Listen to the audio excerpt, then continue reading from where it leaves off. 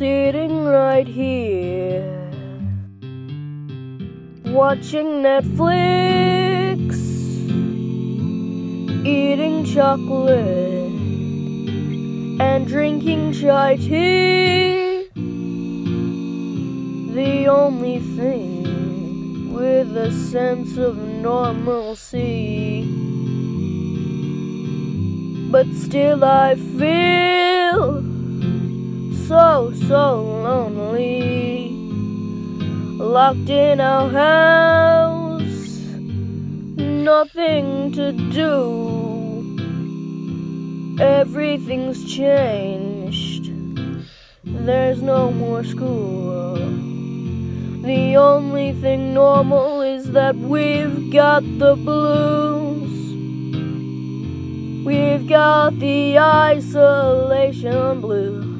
We've got the isolation blues. We've got the isolation blues.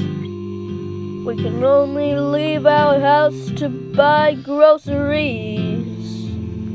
People are panic buying. They really ought to stop. Working from home, people losing jobs. We've resorted to homeschooling. It fing sucks. Everything's screwed cause of coronavirus. This is so wrong. Someone fix this, or April will be worse. We've got the isolation blues. We've got the isolation blues. We've got the isolation blues.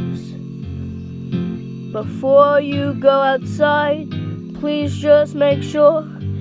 Is it essential? Remember, there are people dying who've never died before. Even though it's bad, please stay inside. You could save a life. I lost all ambition for worldly acclaim. I just want